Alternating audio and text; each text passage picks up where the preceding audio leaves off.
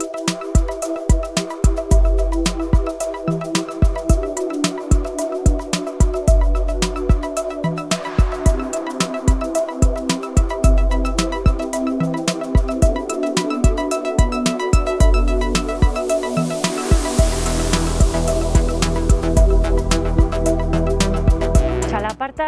argitaletxearekin batera, eh, erronka berezi bati ekin diogu eta da liburu bilduma bat egitearena.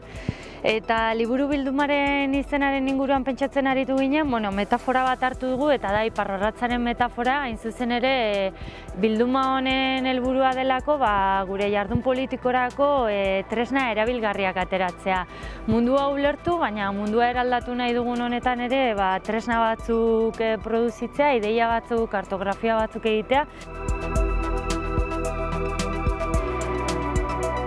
Ba, liburu harinak izango dira luzeraren ikuspegitik, ikusten duzuen bezala, baina horrek ez du esan nahi edukietan sakonak izango ez direnik. Oso sakona dira, horrek eskatuko duena da, ba, kasu honetan e, idazlei aurretik lan oso bat egitea, sukalde lan oso bat egitea, liburu mardulasko irakurtzea, teorizazioak egitea, eta gero horretatik sukalde lan bat, sintetizazio lan bat egitea, eta erabilgarri izan daitezkeen e, liburuak e, ateratzea. Euskal Matxina da e, liburu honetan e, azaltzen da nolabait berrogo eta margarren e, amarkada bukaeran, belaunaldi batek Euskal Herriaren e, etorkizunari eta Euskal Herriaren azkapen prozesuari e, e, prozesuarentzako eraikitzen duen iruditeria politiko eta praktika politiko, kultural eta barra. E, liburuak hori nola e, sortzen den aztertzen du, garaiko eztabaida nagusiak, nola korapilatu ziren eta nola eman zieten erantzuna.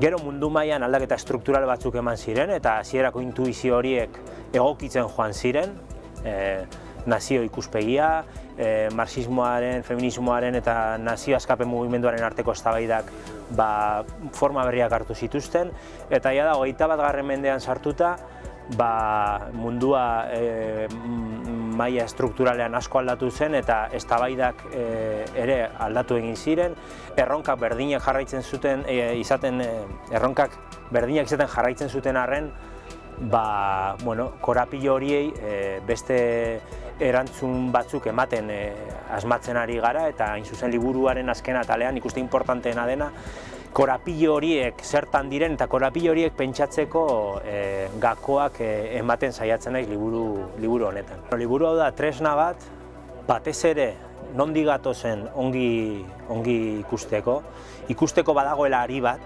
e, naiz eta estrategiak aldatzen diren, e, taktikak aldatzen diren, baina badago ari bat, konstante historiko bat, nikor Euskal Matxina deitzen dio dana, eta zertarako liburu hau, ba, E, asko idatzi da e, bere garaiko sorrera horri buruz, asko idatzi da laro gehi laro eta mar bimila garren amarkadei buruz, baina gutxi idatzi da batez ere, e, oraindik ere perspektiba historikoa ez geneukalako, azken amar urteetan asko eztabaida berriak etorri direlako, eta nik uste liburu honetan topatuko duena irakurleak izango da azken amarkada horietako eztabaidak e, eta Euskal Matxinadaren gako berriak interpretatzeko ba, eztabaiden nolabait ordenazio bat, ez?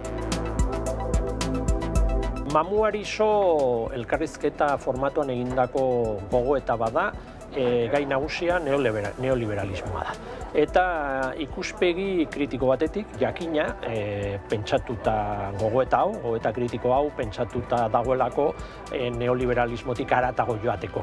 Hau da, beste alternatiba bat, eta beste zibilizazio eredu batera joateko. Ezta? E, eta elkarrizketan egiten duguna da, galdera erantzuna dinamikan arabera, e, neoliberalismoen historia kontatzen e, saiatu, laburtzen dugu historia hori, e, azerketa kritikoa egiten dugu ere, askapenaren indarrok e, neoliberalismoaren ibilbide horretan izan dugun jarreraz, eta e, planteatzen dugun nundik nora joan daiteken alternatiba gintza. Ne? Nundik nora joan gaitezken beste eredu bat e, eraikitzeko. Eta bide horretan garrantzia handia ematen diogu bureu jabetzaren aferari. Batzutan neoliberalismoa ulertzen dugu afera ekonomiko gisa, eta bada, baina neoliberalismoa ekonomia baino gehiago ere bada, arrazionalitatea, mundua ulertzeko modu bat, harreman sozialak ulertzeko modua, eta baita ere demokrazia urratzeko estrategia bat. Azken finean neoliberalismoa da eliten aldetik ofentsioa bat, botere guztia, ekonomikoa eta botere guztiak beren eskuetan biltzeko. Eta horregatik demokrazia du etxai neoliberalismoak. Eta zentzu horretan, e, baloratzen dugu buru jabetza oso importantea dela, buru jabetzaren inguruko eztabaidari esker berriro ere e, gakoa jartzen duelako herriaren ahalmenean, herriaren botere gaitasunean. Azken finean, e, hemen kontuan edo mai gainean dagoena da kapitalaren buru jabetza versus herriaren buru jabetza. E, ezin da zerbait gainditu ongi ezagutzen ez ba, ez ba uzu. Beste mundu bat eraiki behar dugu, nabarmena da mundu hau gaizki doala, mm, amildegi batera goaz, zibilizazio eredu hau ez da onuragarria, beste bat eraiki behar da. Eta ongi identifikatu behar ditugun un dauden akatsak, zer den gaizki doana eta beraz zer den aldatu behar dena. Eta horretarako neoliberalismoaren ikuspegi kritikoa funtseskoa da. Horregatik liburu hau nolabait mm, derrigorrezko kokapena zen edo zein askapenaren e, ideia mai gainean jartzeko.